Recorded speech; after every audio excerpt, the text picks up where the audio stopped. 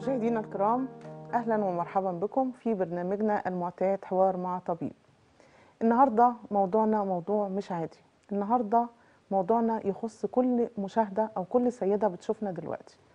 النهارده هنتكلم عن أورام الثدي عند السيدات. هيكلمنا فيها باستفاضة الدكتور أحمد محمد النجار دكتوراه جراحة الأورام والمناظير القيمة العلمية الكبيرة. برحب بحضرتك دكتور معانا في البرنامج. أهلا بحضرتك يا دكتورة واهلا بالسادة المشاهدين. أهلا شكرا بحضرتك. ان اتحتوا لي الفرصة إيه، زي ما قدمت الحلقة وقلت لحضرتك النهاردة هتكلمنا في موضوع يهم ويخص كل سيدة بتشوفنا أو كل مشاهدة دلوقتي. إيه، موضوعنا موضوع أورام الثدي عند السيدات تحديدا. تمام كده؟ تمام. أورام الثدي عند السيدات لو اتكلمنا فيها هنبدأ حوارنا بحاجة مهمة جدا اللي هي مشاكل الثدي عايزة أعرف من حضرتك مشاكل الثدي دي عبارة عن إيه أو إيه مفهومها عشان نتطرق بيها في الآخر لأورام الثدي اتفضل حضرتك معانا. هتكلم مع حضرتك على المشاكل اللي إحنا بنشوفها في شغلنا أو اللي السيدات بتيجي تشتكي بيها آه. ببساطة. بتبدأ من بدايتها ممكن السيدة تيجي تشتكي بألام في الثدي مم. دي بيبقى لها أسباب برضو مختلفة. ممكن سيدة تشتكي بإفرازات بتخرج من الثدي. آه. ممكن سيدة تبدأ تشتكي بإن تغيرات حصلت في شكل الثدي مع الوقت. آه. ممكن سيدات تشتكي مثلا إن في حست بكتلة يعني اكتشفت بالصدفة مع مم. فبتأرقها. ممكن حاجة تظهر تحت الإبط. ممكن ال- حاجات الشكل نفسه الحلمة تبدأ يحصل فيها تغيرات. تغيرات في إيه يا دكتور؟ في اللون يعني مثلا؟ ممكن آه، السيدة تيجي تشتكي مثلا بإن الحلمه الحي- الحلمه الثدي نفسها بدأت تدخل لجوه آه أو آه تتجه في اتجاه غير الطب الشكل اللي كانت معتادة عليه غير اختلف. الشكل المعتاد بمعنى آه. في حاجة جديدة ظهرت طرقت عليها تمام تمام مم. فبالنسبة مثلا للسيدات اللي بتيجي معظم الشكاوي اللي بتيجي مم. أو طالما ال- السيدة جت اشتكت بمشكلة فبنحب نطمنها لأن الأورام ما بتجيش ب- بآلام ما بتجيش بحاجات صريحة قوية بتيجي آه، آه. بصفات خبيثة. مم. فهنتكلم مثلا عن الآلام اللي بتيجي. ممكن سيدة تيجي تشتكي إن في آلام آه، موجودة. الآلام دي ساعات بيبقى لها كذا كذا صورة من الصور. أكيد طبعا آه. آلام مثلا مرتبطة بال بالبريود أو الدورة الشهرية بتاعتها. آلام غير مرتبطة آلام تانية لها علاقة بالعضلات. آه. فبالنسبة للآلام مثلا اللي بتظهر مع مع ال period الشهرية السيدة بتيجي بتشتكي بتقول إن أنا كان عندي ألم بيبدأ يزيد وبيختفي مع بداية مع مع حدوث الدورة. تمام؟ في حاجة تانية بتيجي تشتكي مثلا إن أنا يعني بتظهر عندي الام باستمرار ملهاش علاقة بالدورة. آه آه. فدي بتبقى غالبا أول حاجة ال- الالام اللي هي لها علاقة بالدورة دي بسبب التغيرات الهرمونية أكيد أو طبعا آه. تأثير الأستروجين والبروجسترون على ال- الثدي وعلى قنوات الثدي والغدد اللبنية. آه آه. دي بتتغير مع الوقت.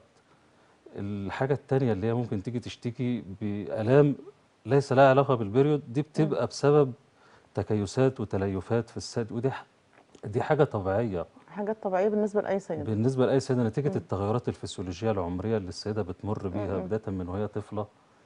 آه. إلى بداية تغير الهرمونات ونضج الثدي والحيض والحمل والرضاعة والكلام ده كله أكيد تغيرات فبيحصل. تغيرات أكيد، مع مدار أكيد. الوقت على نسيج الثدي. دي الالام اللي موجودة في الام تانية بتبقى مثلا بسبب ال- العضلات نفسها دي بتبقى أمورها بسيطة يعني إن السيدة بتيجي تشتكي إن في الام مثلا موجودة بعد الفحص والتاريخ المرضي والكلام ده كله اللي آه. بنتكلمه مع المريضة تكتشف إن في مثلا لها علاقة بالعضلات التهابات العضلات أو الحاجات دي. فدي بترتدي حاجة بتدعم الثدي بتريحها كتير. آه. بالنسبة للآلام اللي هي الأولانية اللي هي لها علاقة بالبريود أو أو الرم أو ال- أو الآلام اللي ليها علاقة بالتليفات بتاع الثدي. دي أول حاجة بنحب نطمن السيدة دي أهم حاجة جدا انه لأن ده عرض وليس مرض. آه. دي حاجة طبيعية جدا. آه. ويعني ما, ما تقلقش منها. وكويس إنها طارئ آه. يعني وهياخد وقته ويمشي خلاص تمام. يعني كده. نبدأ آه. لو الألم زاد و يعني هي ما قدرتش تتغلب على الألم أثر آه. عليها بصورة أقوى. ممكن نبدأ معاها بمسكنات ممكن نبدأ معاها بحاجات مكملات غذائية. آه، ساعات بنلجأ للعلاج هرموني بس ده بيبقى مش يعني بنخليه لآخر حاجة. آه. دي آخر نقطة. آه دي آخر نقطة. وفي مجمل الكلام كله إحنا بنقول إن دي حاجة يعني مش مقلقة. آه. إن الأورام ما بتجيش ب... بمجرد ب... أعراض ظاهرة. آه بمعنى أوضح بالنسبة يعني. للألم بالذات إحنا م-م. بنتكلم على شكوى اول حاجة آه. الألم.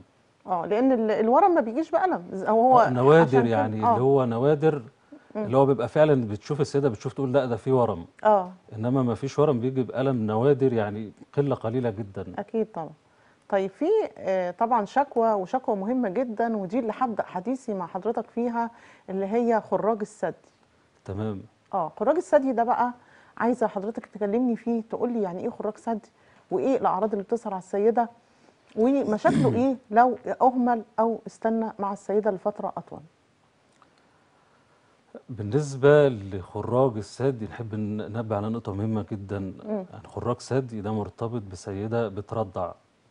تمام. أو لسه كانت يعني فترة لسه بترضع أو أنهت الرضاعة من فترة قصيرة جدا. آه آه.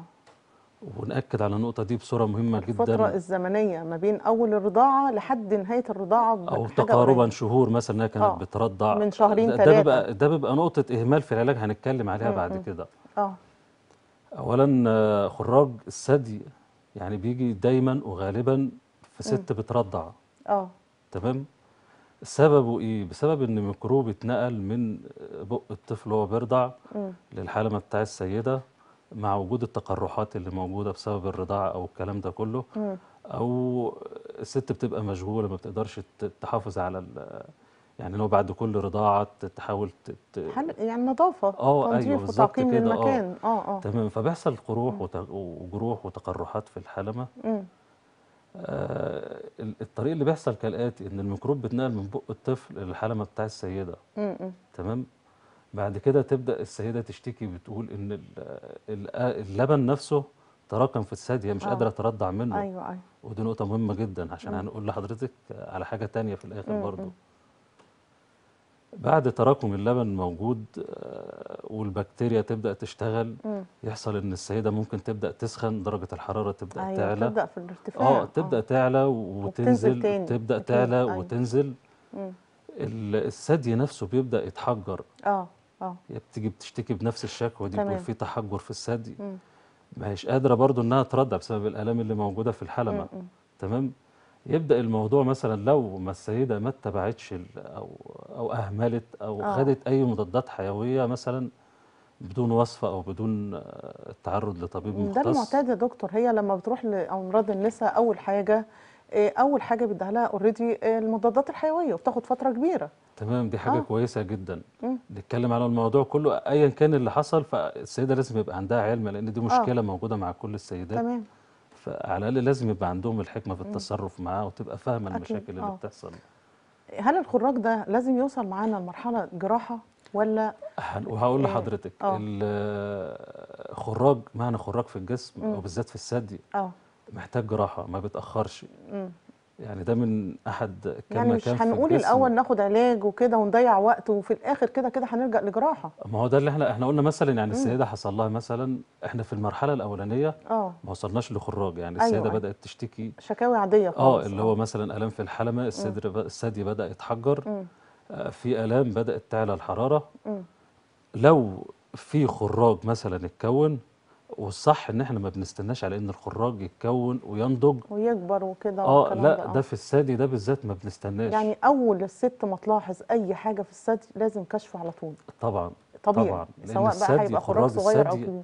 خراج الثدي ما. بنستناش إن هو ينضج. زيه. مثلا زي الغدة ال- النكافية زي آه، حاجات آه. تانية في الجسم. آه. يعني هي. مجرد ما تحس مثلا بألم في الكتف آه، مثلا سخونة يعني حاجة في صدرها تغير لون الصدر كل ده بيدل على إن في خراج أوكي طبعا من أهم تمام. الشكاوي اللي هي. بتميز إن في خراج موجود السيدة بتيجي بتشتكي بتقول لك إن الألم مم. بنفس اللفظ كده يعني في نبض موجود أيوه في نبض كده موجود أيوة. بيبقى حاسة اتحجر حاجة بتنكمش وبتنفق نبض زي أيوة النبض اللي بالظبط بتحس كده. بيه ده الشكوى بتاعتك ده الشكوى الأساسية آه خراج الثدي العلاج الأمثل ليه إن هو لازم يتفتح. بأسرع ما يكون وتحت مخدر كلي مم. عشان الألم. دكتور يعني إحنا بنتكلم على الخراج عامة. آه، في مشكلة بتقابلنا هنا عايزه أعرفها من حضرتك حالا. إيه الفرق بين الخراج الثدي وبين التكتلات اللي بتبقى موجودة في الثدي؟ ده لازم المشاهد قدامي دلوقتي يعرف الموضوع ده. هنتكلم برضو تمام جميل. الخراج الثدي دايما وغالبا بيظهر مع واحدة ست بترضع. آه. دي نقطة مم. لو حصل التهابات مثلا في الثدي. في خارج الرضاعة فدي للأسف بت يعني للأسف دي من أحد أعراض أنواع السرطانات اللي هي العنيفة آه. اللي هي ال inflammatory breast cancer أو ال- السرطان بيجي بشكل التهاب يعني من العنف بتاعه إن هو بيظهر على ثدي المريضة مم. بشكل التهاب هو العنف. ده الخراج قلنا وخلاص عرفنا علاجه إن هو لازم يتدخل جراحي حالا تمام وقتيا. تمام تمام. لكن في نقطة أنا فعلا كنت هسأل حضرتك فيها حالا دلوقتي وهي الالتهاب. اللي بيجي في الثدي اللي هو بيغير لون حلمة الثدي نفسها بيغ- بيغير مكان الحلمة بيغير الجزء المحاط بيها بيبقى لونه أسود كده الحلمة مسحوبة لجوه آه، في زي مثلا إيه بنقوله انكماش سؤال حاجات- جميل سؤال جميل. ده في ده نوع من أنواع آه. الأورام اللي هي الحاجات النادرة. اللي هي الصعبة شوية. آه اللي مش متداولة م- اللي مش كل الناس واخدة بالها منها إلا الناس. بتوع الأورام أو حد اتعرض ليها نوع من الأورام اسمه باجي ديسيز آه. ده بيجي على هيئة قرحة في الحلمة. أيوه. وبياكل الحلمة وبيبدأ ياكل الهالة السوداء اللي حواليها. يعني من الحاجات المبشرة إن ده ورم موضعي في مكانه. آه. على بال ما يتحول بس ورم لورم. مفيش هو ورم خبيث. آه. أنا مع حضرتك هو ورم خبيث. بس الأورام درجات يعني مش كل كلمة طبعاً. ورم يبقى كلها زي بعض. الفزع في السيدات. لا طبعا طبعا. م. ده علاجه بيبقى علاجه اللي هو التدخل الجراحي. أول حاجة اول حاجة في أي أورام آه. العينة. هنتكلم على الحاجات دي مع حضرتك في الوقت م. فده نوع من الأورام اسمه Paget disease ورم موضعي آه على بال ما يتحول لورم يعني يبدأ في سكة الانتشار أو الكلام ده كله بياخد له ما يقارب سنتين م. أعتقد فترة كافية إن السيدة تبدأ فالمفروض بقى إن هي. تكتشف آه، آه، حاجة زي آه. كده آه، إنها خلاص تبدأ. يعني تتطرق مثلا لطبيب ال- الأورام وتعرف الدنيا إيه على أساس إنها تلحق وقتها زي ما بيقولوا. طبعا إحنا بنتكلم آه. يعني أتمنى إن إحنا نخرج من الحلقة النهارده إن يعني وعي السيدات يزيد. نحاول نكتشف ال- آه، الأورام طب مبكرة. حضرتك يا دكتور في تليفون معانا. آه، أستاذ طارق أهلا بحضرتك. أستاذ طارق. ألو؟ ألو. أستاذ طارق اتفضل حضرتك. أيوه يا فندم اتفضل يا أستاذ طارق. موجود لك إيه يا فندم. نعلي الصوت لو سمحت شوية عشان الدكتور يسمع حضرتك. ألو؟ نعلي الصوت شوية.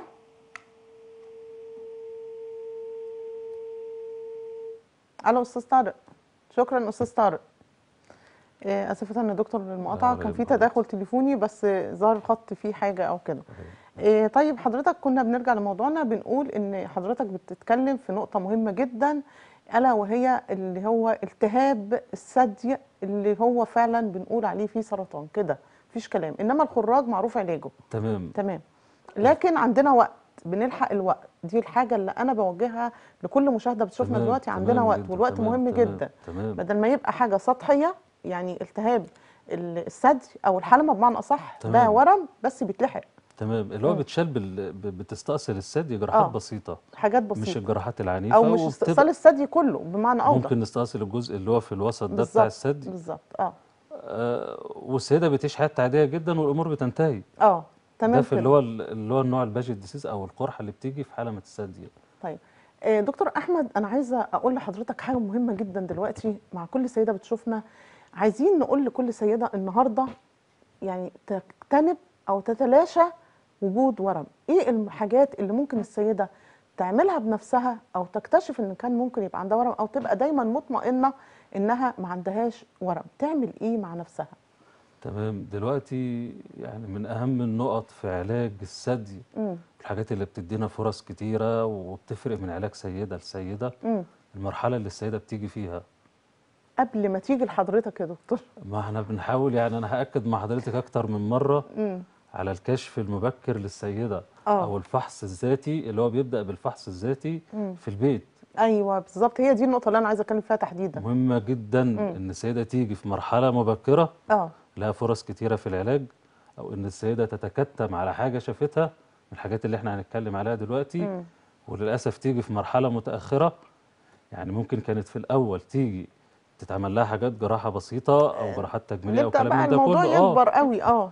أو سيدة مثلا تيجي ترجع. يعني يبقى باقي لنا مثلا العلاج التلطيفي يعني شوف المقارنة وصلت من فين آه آه فهنتكلم مثلا عن ال- المفروض إيه اللي يتعمل المفروض إيه اللي يتعمل مم. أول حاجة اللي هو الفحص الذاتي أيوه اللي السيدة ممكن تعمله وده فحص؟ دوري يعني بص هو الناس بتتكلم إن مثلا يعني من اليوم السابع أو العاشر من من البريود امم أمم.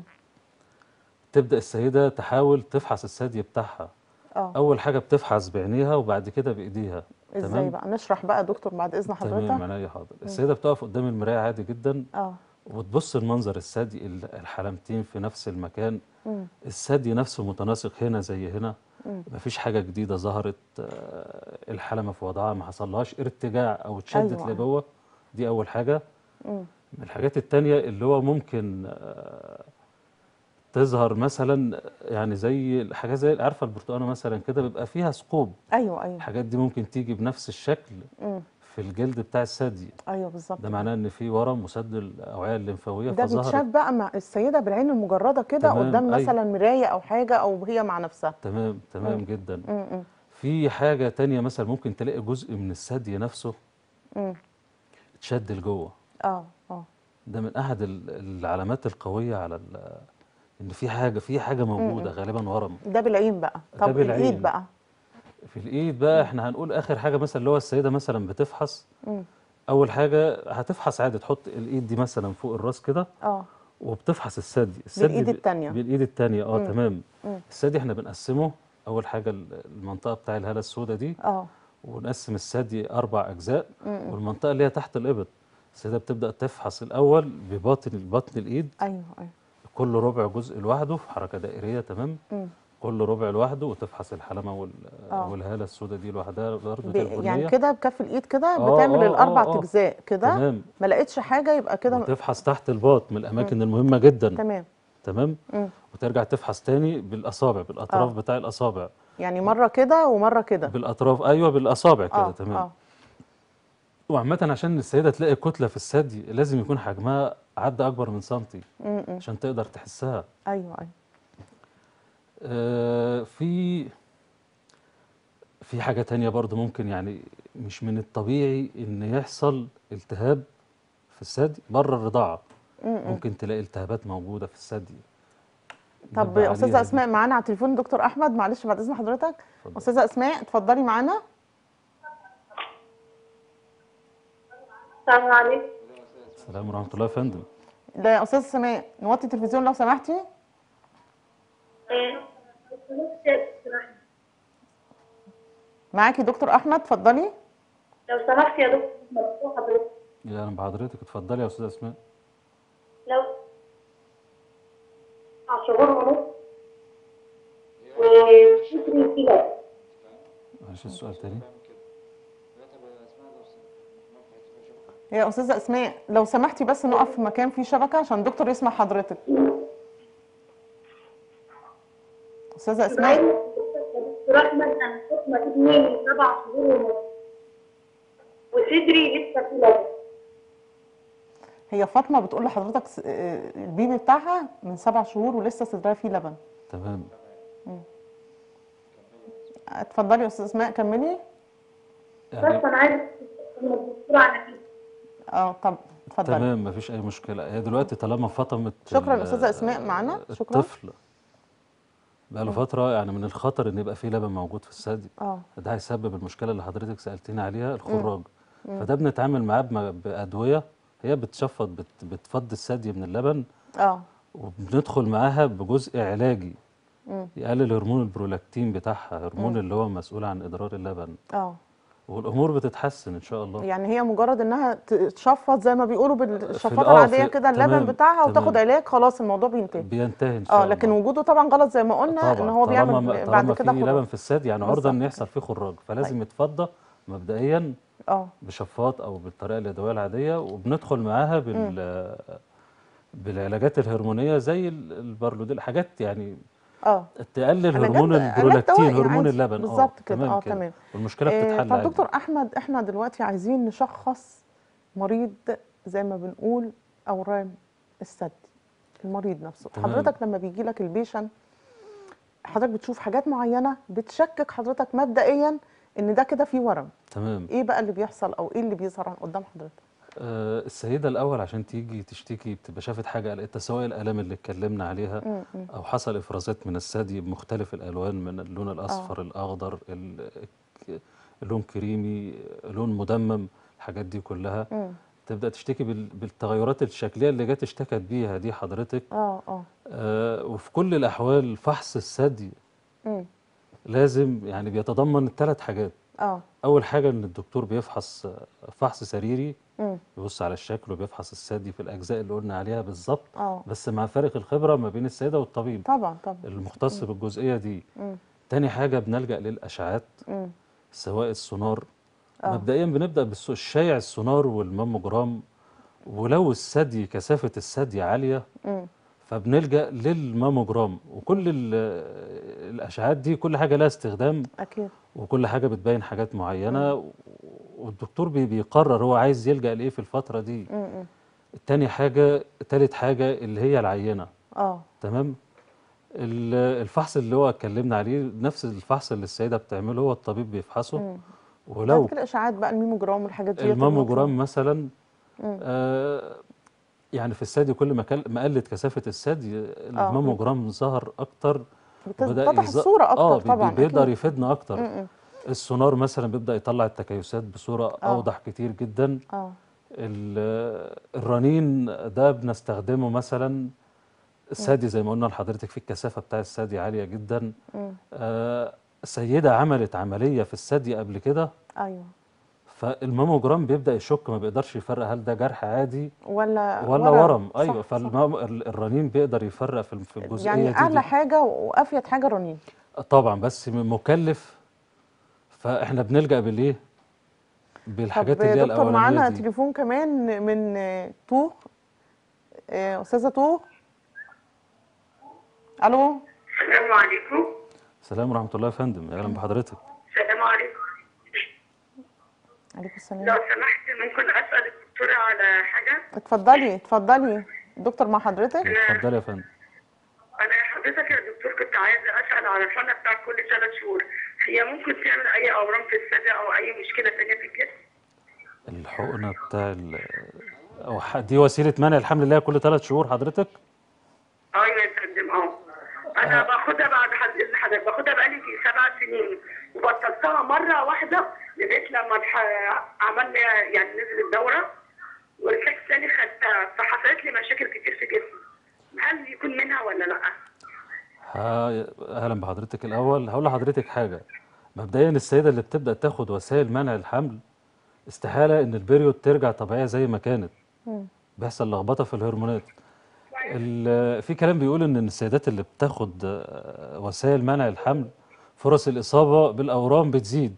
شكرا. طوخ لاتصالك آه، اتفضل يا دكتور كمل إجابتك. مع حضرتك. بيقولوا إن فرص الإصابة بالأورام بتزيد بس ده مش حاجات أكيدة. مم. يعني هم قعدوا يقولوا مثلا يعني ال- ال- الأرقام اللي اتسجلت مثلا. يعني سواء السيدة آه يعني الحاجات اللي بتيجي أو اللي قالوا إن ال- الأورام فرصة إصابة بأورام الثدي.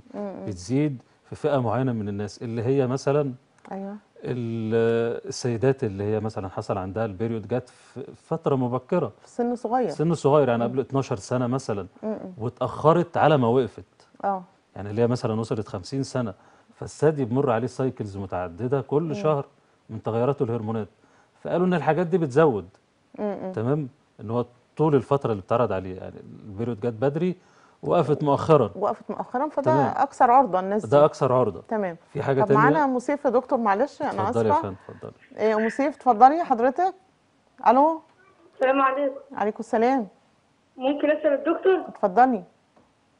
لو سمحت يا دكتور آه، أنا عندي الجنب اليمين من الثدي وجعني خالص مع كتفي كده. تمام. الألم مع زي- العلم يعني مع العلم حضرتك إن أنا ثلاث أولاد وما رضعتش طبيعي. تمام. الألم ليه علاقة بال period ولا ملوش علاقة بال period؟ آه، لا حضرتك لا. تمام طب أنا هتكلم. كل 15 يوم كده بكتفي بكتفي كله ده. تمام. طب شكرا على تواصلك معانا. شكرا. اتفضل يا دكتور. نتكلم عن الالام برضو اللي بتيجي في الثدي المشكلة اللي اتكلمنا فيها بتبقى حاجة من ثلاث حاجات. ما لا- لها علاقة بال period وهي قالت إن ملهاش علاقة بال period هل في تكيسات أو تليفات موجودة في الثدي. دي من أحد الأسباب برضو القوية اللي بتيجي بتشتكي بالالام دي بتظهر بالأشعة التلفزيونية العادية جدا. مم. هل في تليفات أو تكيسات في الثدي؟ آه. آه عملنا الأشعة وما لقيناش الجزئية دي. في الجزء الباقي بقى اللي هو ليه علاقة بالمصل العضلات نفسها. أيوه أيوه آه. ده اللي السيدة بتدعم بيه الثدي.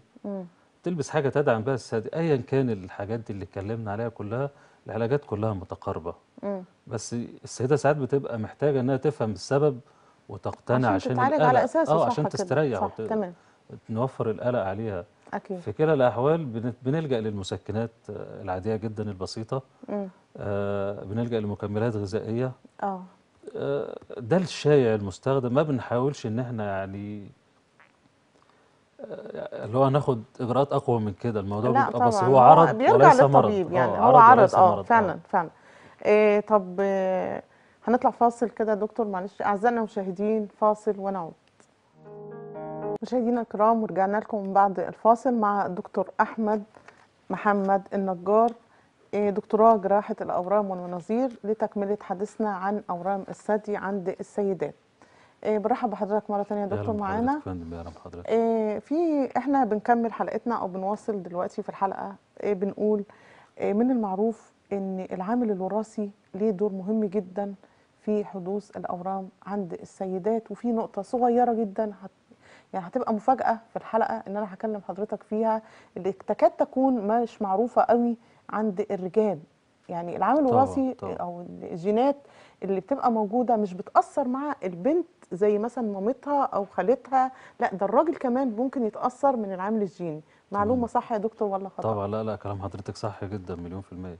طيب اتفضل حضرتك. هنتكلم على العامل الوراثي بقى. عينيا. آه السيدات يعني لو في عائلة مثلا ظهر فيها مم. سيدة عندها أورام ففرص الإصابة غالبا بيبقى في حاجات جينية موجودة آه آه طبعا فرص الإصابة للعائلة كلها مم. بتبقى موجودة الرجال والسيدات. مم. ممكن تيجي مثلا على هيئة أورام في الثدي في السيدات أو في الرجال وفي الرجال ده بيبقى أعنف مم. مم. ما هي دي النقطة اللي أنا عايزة أحددها آه آه الرجال ده بيبقى أعنف آه. لأن حجم الثدي بيبقى صغير والورم بيبقى لازق مثلا على ال... أول مع بداية ظهوره يبدأ خالص، يخترق العضلات. بقى حاجة. العضلات على طول direct كده آه. انتشر يعني موضعي وانتشار عنيف آه. ودي حاجة مستبعدة خالص يا دكتور. يعني دي المشكلة إن الراجل ما بيستبعد الموضوع ده نهائي. يعني أنا مثلا الوالدة أو الخالة أو كده صلة القرابة الأولى بيبقى عنده مثلا ورم. هو ممكن يجي الورم في الثدي برضه زي سيدات بس هو مشكلته هو بتبقى أقوى. دي الحاجة اللي أنا عايزة بسبب أوضحها. كده إن بيجوا بعد كده في مرحلة متأخرة. أيوه بالظبط كده. ويبقى يعني الورم بتاعه متأخر حالة أيوة. متاخره جدا. بيجي بانتشار. آه، تمام. يعني بداية ظهوره انتشار. طب دكتور يعني آه، أنا عايزة أسأل سؤال مهم. طبعا قلنا العامل الوراثي ليه دور مهم جدا عشان الجينات والكلام ده. إيه صلة القرابة يا تكون مثلا الوالدة أو الخالة يعني الدرجة الأولى. قرابة من الدرجة الأولى. تمام. آه أيوه. بس هل سؤالي بقى المهم قوي هل فعلا ال- الجينات بتلعب دور في الأورام ثدي بس ولا أنواع تانية من الأورام. لا طبعا بتظهر. أقول لحضرتك. هناخد بس تليفون. أستاذة مها معانا ونرجع لحضرتك. أستاذة مها أهلا بحضرتك. ألو؟ ألو؟ شكرا. شكرا أستاذة مها. اتصلي بينا تاني حضرتك. إيه أيوه دكتور اتفضل. إيه كنا بنتكلم في نقطة مهمة جدا. آه آه. اللي هو هل الثدي بس في العمليات الوراثية ولا لا؟ ممكن يظهر يعني واحدة في العائله عندها أورام في الثدي آه. واحد تاني أو واحدة تانية يظهر عندها أورام في القولون؟ بالظبط. أورام في المبايض أورام في الرحم. الكبد مثلا آه لا أورام في البروستاتا. هي دي المجمل اللي هي ال- ال- العلاقات اللي بتحصل كعلاقات ثدي آه آه آه. في الأفراد الدرجة الأولى. بس أو ممكن يجي بنكرياس برضه. أيوه ما أنا بقول لحضرتك يعني آه، امراض البنكرياس أو الكبد أو مثلا آه، بنكرياس قولون آه، القولون. رحم مبايض آه. بروستاتا في الرجال برضه البروستاتا في الرجال بيحصل فيها برضو أورام. طبعا فمش مقياس إن يجي الأورام إن عشان الجينات والعامل الوراثي يبقى في الثدي بس. طبعاً. لا طبعا تمام كده؟ طبعاً، طبعا. إيه طب دكتور في برضو حاجة عايزة أسأل حضرتك فيها وحاجة تكاد تكون إيه الأهمية القصوى بتاعة الموضوع بتاعي. إحنا بنتكلم عن أور... الأورام عامة لكن ما تكلمناش عن مراحل العلاج للأورام. هنتكلم نقول فيها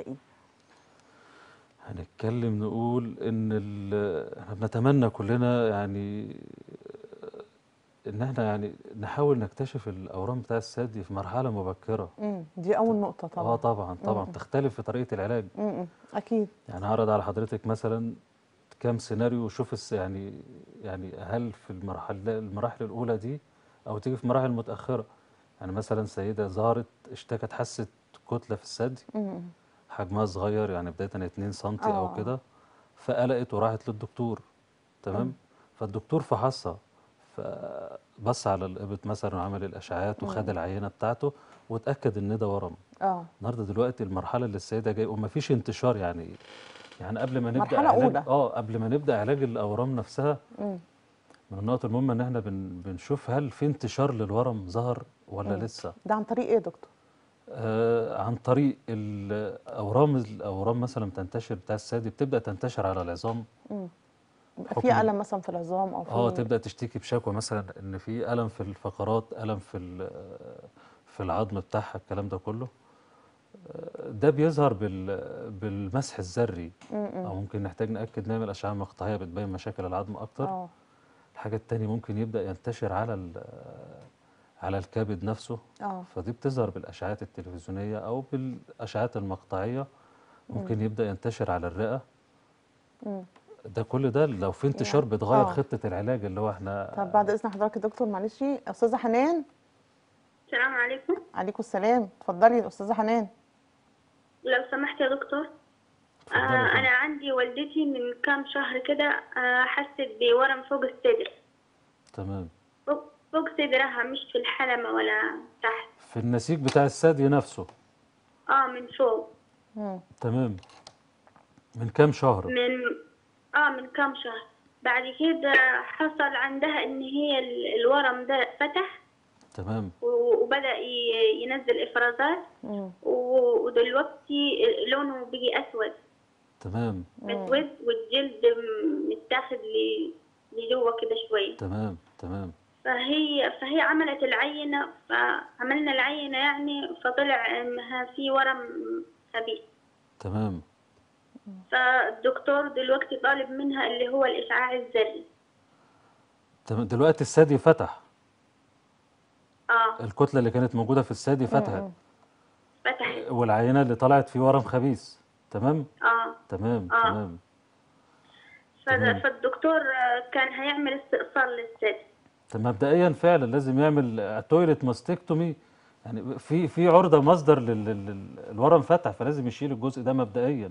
تمام كلام صحيح. هو قرر الأول إنه هيشيل الثدي تمام تمام كلام صحيح جدا. toilet mastectomy عملية تنظيف بمعنى أصح. يعني عندنا بؤرة يعني فيها ورم وفيها التهابات وحاجة مش ظريفة. تمام. بس دلوقتي رجع رجع الدكتور في, ال... في لغى موضوع إنه هو يشيل الثدي وطلب الإشاعة اللي هي بتاعة الاشعاع الذري. تمام. فإحنا مش عارفين يعني هو في أعراض يعني قبل الاشعاع لأن هي فترة الاشعاع لسه قدامنا حوالي 20 يوم. طلب آه، إنها لولا تاخد اشعاع ولا مسح ذري؟ آه لا مسح مسح عادي. مسح ذري على العظام. ده اللي هو بيحدد أماكن انتشاره. تمام. هو إحنا في حاجة نقدر نعرف بيها إن المرض انتشر أو ما انتشرش أو هو لو وصل للمرحلة دي كده مؤكد انه هو انتشر أو لا؟ والله على المرحلة اللي حضرتك بتكلميني فيها طب هل هل هل هي عندها شكاوي مثلا في العظم في العظام؟ لا ما, ما بتشكيش بأي حاجة خالص نهائي أي شكوى لا ولا حتى ال... ما فيش ألم أصلا خالص. ده اللي إحنا بنتكلم فيه ان شكرا على الأورام تواصلك بتيجي يا أستاذة اسماء آه، كمل آه، نكمل حديثنا. يا دكتور طبعا هي بتتكلم في حاجة مهمة جدا آه، دي عايزين وصلت. مرحلة دي. المرحلة فعلا اللي هي الثالثه من المنظر. ده مبدئيا أي ورم في الثدي لازم بنحدد فيه انتشار ولا لأ. أيوه أيوه. ايا حضرتك كان لسه الوضع. بتتكلم في نفس آه، النقطة. آه. ايا كان الوضع. قبل ما ندخل جراحة بنعمل نشوف الأول انتشار لا في السيدة بدل دي. في السيدة لا إحنا دي. كنا ده موضوعنا في دلوقتي. أنا مع حضرتك عشان موضوعها مهم جدا. آه. في السيدة دي آه. الجراحة دلوقتي ما هيش جراحة palliative يعني عارفة اللي هو العلاج palliative ما هوش مش علاج قاطع بس لازم تعمل جراحة وتشيل الثدي اللي بالمنظر ده آه اللي هو فتح الورم كتلة فتح طالما فتح يبقى لازم جراحة. هتتشال بقى toilet mastectomy مع عملية تنظيف م- م. ونكمل العمليات اللي هو الإيه مرحلة بقى الانتشار. ال- الانتشار إحنا قلنا الأماكن اللي ممكن ينتشر فيها آه. المخ ال- الرئة مم. ال- البطن أو الكبد والكلام ده كله تمام؟ ده التحديد الانتشار بتاعه. آه. لكن علاجاته زي حضرتك ما ذكرت على حسب المرحلة اللي جاي بيها المريض. تمام. مرحلة أولى غير تانية غير تمام. ويفضل إن إحنا نعالج في المرحلة الأولى. تمام. تمام؟ إحنا اتكلمنا أنا آسف جدا لحضرتك كنا بنتكلم إن السيدة جت عندها ورم صغير آه. والدكتور فحص وعمل ال ال ال ال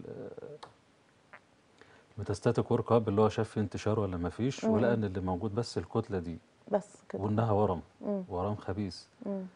النهارده في حاجات جميلة ظهرت إن أنا ممكن أحقن حوالين الورم ده صبغة وما أدخلش أشيل الغدد الليمفاوية اللي تحت الابط أشيل غدة اتنين التالتة آه تديني دقة آه، لو التالت غدة لمف... اول واحدة والثانيه والثالثه مش مصابين مم. أنا عندي نتيجة بنسبة 80% إن باقي الاجزله باقي الغدد اللي تحت الإبط نفسها. غير مصابة أيوه فهو- سليمة آه سليمة مم. فما بعرضهاش لمشاكل إن أنا افضي الغدد ال- مم. الليمفاوية من الإبط آه اللي بتظهر على شكل مثلا تورم في الغدد الليمفاوية في الدراع يبدأ يورم مم. تنميل المشاكل اللي السيدات بتيجي تشتكي بيها وتبقى اكتفت إنها شالت الورم بس وتكمل متابعات ده سيناريو مم. تمام واحتفظت بثديها آه. وكملت مثلا العلاج الإشعاعي والعلاج بقية العلاج بتاعها الكيماوي مثلا. مم.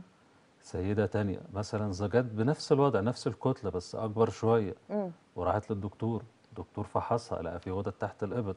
دلوقتي ما نقدرش نعمل الحاجة اللي بقول لك عليها اللي هي ال sentinel lymph node. لو نحقن صبغة وكده.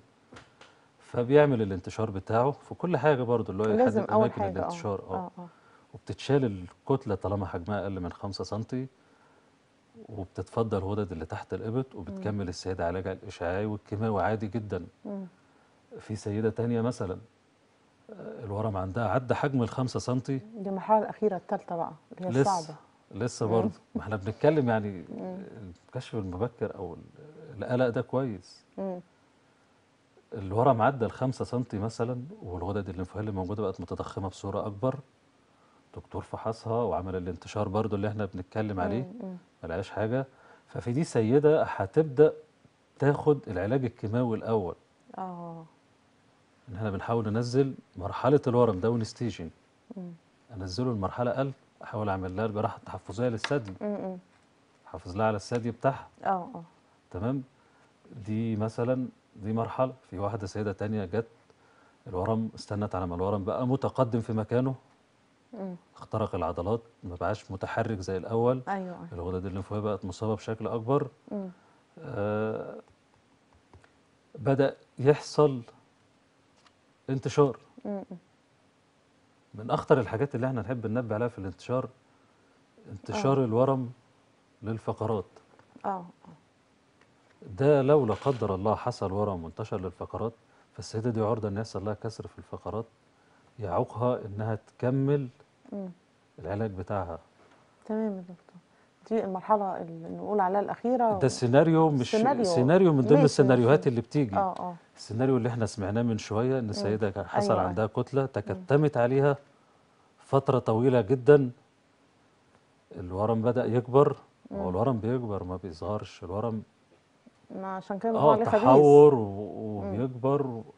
الكلام ده كله وصل لمرحلة إنه فتح على بره مم. مم. دي مشكلة تانية آه فده بيتعمل فيها مثلا مبدئيا بيتعمل الجراحة اللي هي هن- هنشيل الثدي اللي فيه ال- انت. تتخيلي ثدي بالمنظر ده مم. لازم نشيله الأول نحل المشكلة دي طب دكتور حاجات. أحمد أنا مش عايزة أختم الحلقة مع حضرتك الحلقة شيقة وجميلة جدا بس الوقت البرنامج اسفه وإحنا كده كده قايلين للمشاهدين إن إحنا طبعا معانا سلسلة حلقات مع دكتور أحمد إن شاء الله في حلقتنا القادمة أهلا نواصل آه،. الموضوع بإذن الله عن جميع بقى آه، الأورام في كل مكان سواء قولون أو غيره.